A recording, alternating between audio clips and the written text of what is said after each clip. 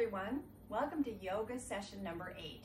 Now, if you've been following along with me from session one through seven, you know that until now we've been focusing on standing poses. So today I'd like to show you a little bit more of my floor work and what I do on a regular basis in my studio. Um, show you some stretches and some twists that'll come in really handy for you and um, will definitely increase your flexibility and your leg strength. So let's get started. Here's what I would normally do when I was in my studio. We'd start with some stretches. So you can start with a very simple cross-legged stretch where you would just put the opposite hand on the opposite knee, this hand behind you, look over your shoulder, and give yourself a nice stretch through the middle of your body. And then you would reverse it and do it on the other side. Now to take that to the next step, you would, whoops, this way, easier for you to see. Bring one leg back like this, put this leg over and flat on the floor, and then you would hold on to the knee. You can start off by just holding the foot and the knee and twisting your body and looking over your shoulder. Then you could take it to the next step by bringing this arm down across your thigh, put this hand behind you as close to your body as you can, and then look over your shoulder. And then you would reverse that and do that on the other side. And if you want to take it to the next level, you could try bringing your elbow to the outside of your thigh. And again, looking back.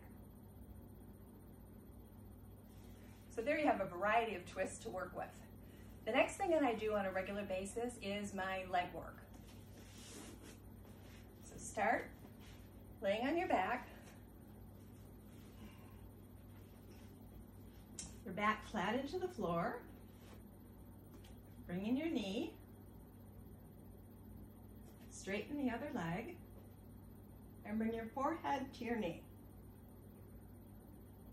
This is a really good stretch for the midsection of the body.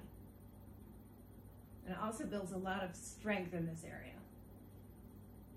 Then you take it to um, another level of the stretch and you bring this knee back up and straighten this leg.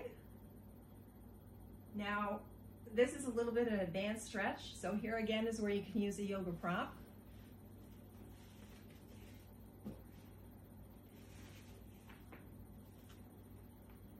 Put the prop, put the strap across your foot, and you can pull your foot up this way without having to reach up all the way with your hands.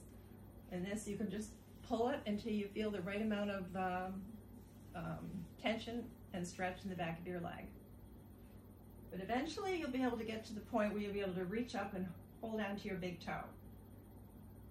And then you can straighten the other leg, and that'll give you a really, really good stretch in through here.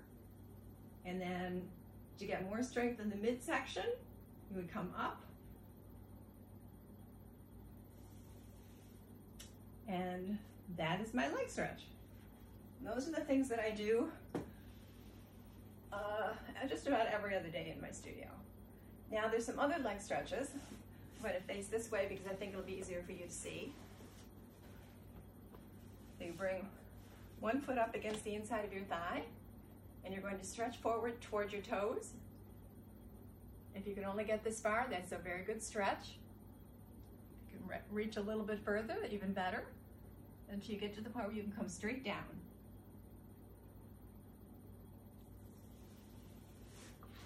Other leg. Good posture, straight up. Reaching forward and down. And then both legs. Wiggle into it, settle into your comfortable. Good posture. Reach for your toes, or reach around your feet, or go all the way down.